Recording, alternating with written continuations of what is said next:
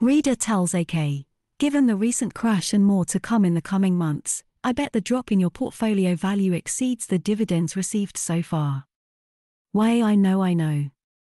If we are investing for income, price drop means more discount for good companies paying sustainable dividends. But there is also this psychological aspect of managing one's portfolio.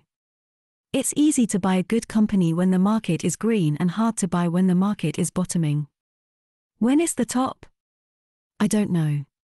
When is the bottom? I also don't know. AK replies to reader.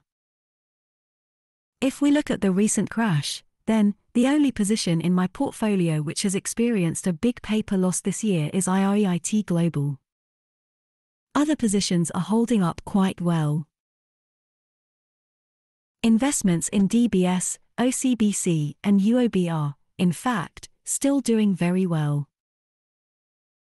Having said this, psychologically, investors for income should be wired differently from people who are trading for income. We can never know when is the market top or the bottom until after the fact. As investors for income, that is not our concern anyway. I just have an idea of what value I am getting for my money whenever Mr. Market makes an offer and if I think it is value for money, I buy some. So, you are right that I am waiting to buy more at lower prices because if prices stayed high, I would have nothing worth buying.